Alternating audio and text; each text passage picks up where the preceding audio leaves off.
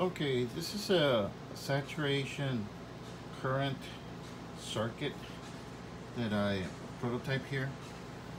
I'm using a function generator to generate my pulses. In this case, I'm using a Rigol. And then I'm using an integrator chip because the impedance of this is 50 uh, ohms. So it doesn't have enough uh, low impedance to drive this capacitor, no, not the capacitor, MOSFET, which is the STP80 NF55. It's got a 8 ohm, milliohm RDS on. And then at this point is where we would put the scope. To monitor the current. So basically what you want to do is you want to put uh, a small pulse right here. And you want to turn this MOSFET basically switch on for a very short time okay? So basically when you put 12 volts here this is grounded through this resistor. You can call this a R sense resistor. And you scope it that way the voltage drop across the resistor is a representation of your current. I current. And that current is a representation of the current that is flowing through the inductor. Okay. So basically if you have the inductor you put 12 volts Okay, as you put the 12 volts, let's say this would be the voltage across VL, then the current should start ramping up like this. Okay. However, there's a point that as you're pumping in current and this current is building up, the in core can no longer build up a flux. The flux is already saturated. So instead, it stops acting as a inductor and you start, as you increase the timing width, as this gets larger and larger, then you start seeing a little curve, exponential curve. Okay, so it, it stops being linear. So this section is linear. But then once you see this deflection, then you're at the point,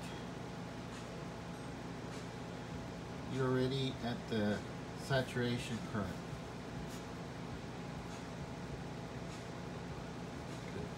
So I have a piece of a, an inductor or a core here. Let's, let's see if we can take a look. Here's the function generator this, the Rigol. And unfortunately, uh, this generator is not, uh, in my opinion, it lacks uh, a very fast leading and trailing edge when you are operating at a very repetition, low repeti uh, repet repetition rate. It basically, the slope instead of being nice and sharp, they, they're very, very uh, wide. And that's a little, I guess, a design flaw of this particular one. Uh, the Sigma has a much better uh, function generator. And uh, I probably will end up getting one of those function generators. Anyway, uh, because of that, I have to use it in the pulse mode. So I'm pulsing uh, one kilohertz, but I'm repping it at 100 milliseconds. Okay, and the reason is, I, if I go too high a rep rate, then I start drawing quite a bit of current, and I don't want to draw that. As a matter of fact, my MOSFET would get hot. So in this case, my function generator is connected here, and then this is the T C4429 and then there's a connection from the output to the gate right here. That's the gate. And then right here is the uh, source and that's where I tied these uh, sense resistors. And as you can tell they started burning up. These are one ohm I don't have anything that low. So what I did is I calculated uh, what the resistance would be uh, for one foot of 26 American wire gauge. So I'm using that as my shunt but anyway I really don't need to know the sense I'm gonna go ahead and calculate differently. Okay. And then this here right there I have my inductor or transformer flyback connected from the drain and then this is the 12 volts. And then I put this diode here so it stops the ringing. Now another thing that I want to point out that if this is my 12 volts coming from my Rigol okay if you don't put any caps here then this voltage is going to sag. So you have to put quite a bit of capacitance. So basically I'm monitoring the input of the function generator which would be the yellow one. Okay. Well actually it's the output of the TC basically right there. So that's the gate the yellow the yellow. And then the collector or not the collector but the drain is the red one so I'll go ahead and so basically when the yellow goes up the drain goes down okay? So I'll go ahead and turn that off because that's what we want to do. We want to see the blue one. The blue is this probe here that's across this resistor okay? So if I had the voltage and I knew what my resistor value is I can quickly calculate my uh, my current saturation current. However I really don't have a very good accurate so I'm gonna go ahead and uh, calculate a little bit different okay? So but I'm gonna go ahead and show what happens. Here is a current and if you notice it's linear and then there's a little bit of deflection up here. So if I increase the time say so right there that's your saturation current. Right there see so basically it looks linear and then it starts deflecting. So in this region from there to here it looks like an inductor but then once you pass that then this region it's no longer an inductor it's rather acting as a wire. Okay so it means that your current is going way way up. And if we keep increasing this then say it, it deviates upwards. So and if you notice I'm increasing. Say current quickly goes up. So I'm decreasing it. Current goes down. Okay current goes down as I decrease the time on and if I increase it it goes up. And it goes up rather quickly once it's saturated. So you can see that that uh, I would say about that time that time would be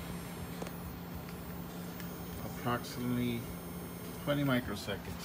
Okay, so we're gonna do that. So we're gonna say it's 20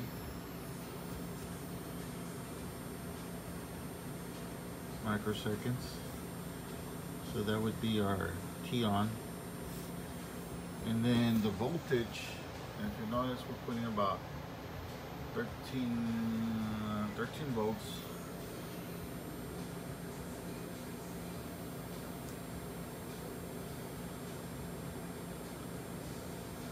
13 volts. Okay, and I believe the inductor is 10 microhenry. Okay, so you should be able to, is it DI, V, L, D, T. So 13 volts, 10 microhenry, we'll say 20 microseconds. Okay, so I usually use my calculator here on my phone, but I'm filming. So let's use the calculator. Okay.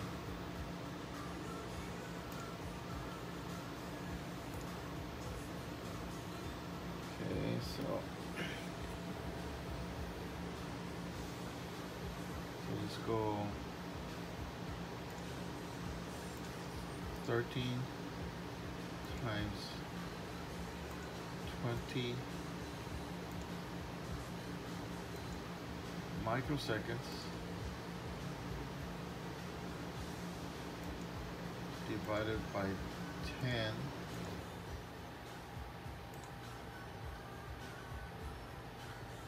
Did I do that right?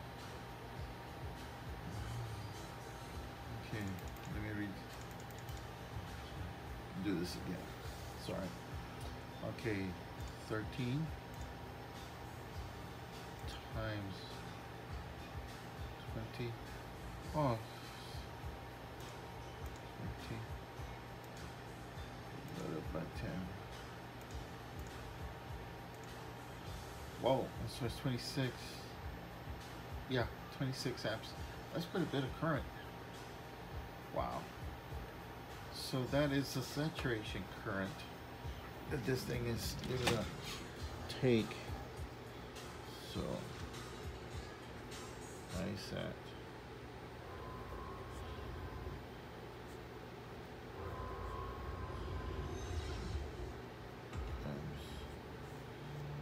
Okay, so that's the point we're starting to. Now, if you have this, then you should be able to backtrack and see what BSAT would be. Because theoretically, that is what uh, that would be. Now to calculate BSAT, knowing that what your current is, I believe you can use the ET.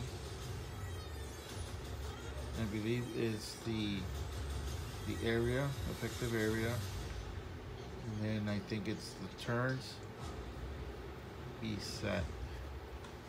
You can use that equation. Okay.